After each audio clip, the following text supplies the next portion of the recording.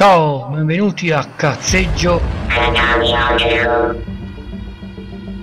Ciao, benvenuti a un altro episodio di Cazzeggio Catabiotico, anche questa puntatona dal colore scrittura creativa. La progettazione narrativa dei grandi autori di fantascienza. Philip K. Dick, Words of It 1954 Prominent Author, autore preminente. Fabula.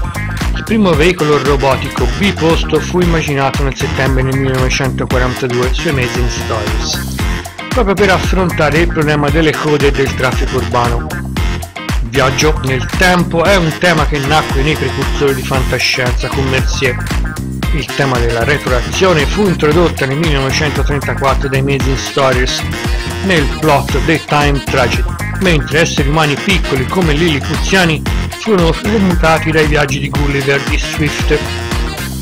La favola di Dick prende un problema pratico e comune nel 1950 e poi anni successivi le file di auto dei pendolari da per, dalla periferia a città e ritorno mescola tutti i temi di cui sopra, che vi ho appena detto, e infine Dick sforna un racconto di fantascienza dall'odore quasi religioso che sta nel solco del teschio. Narratore, narratore esterno non onnisciente focalizzabile sui personaggi, un piccolo flash forward iniziale accenna per sommi capi a tutta la favola che si disvela in un intreccio lineare senza l'uso di particolari tecniche letterarie. Dick introduce un colpo di scena della favola, il protagonista è in parte l'autore della Sacra Bibbia. I viaggi effettuati per ragioni pratiche nel continuo spazio-temporale hanno influito e retroagito con il fenomeno dei culti del carico sugli uomini del passato. Con un lettore attento l'intreccio appare un po' incoerente.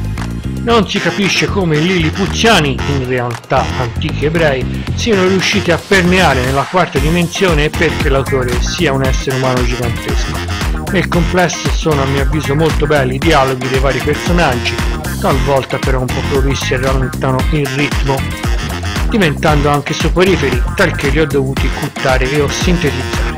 Format è un racconto di fantascienza che oggi sarebbe classificato come molto lungo, di fatto un libro a descrizioni talvolta un po' troppo prolisse che ho dovuto occultare nella traduzione. Ci sono spesso rallentamenti e parti noiosi nell'intreccio che sono inutili al proseguimento della favola.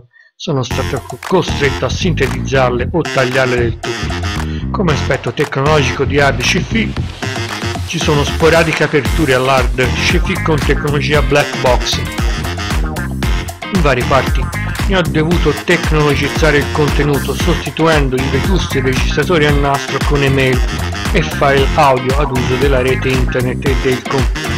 Il racconto è etichettabile, a mio avviso, come fantascienza lontana, quasi fantasy. Elemento di parziale mistero. Per un osservatore del XXI secolo ci sono vari indizi nel testo che suggerirebbero che Dick, quanto l'illustratore di Words of If, potrebbero essere entrati in contatto con Rod Sterling. Molti indizi del racconto rinviano alla sigla di apertura di Twilight Zone, che però questa sigla di Twilight Zone comparirà solo nel 1959, ossia 5 anni dopo la pubblicazione del racconto di Dick.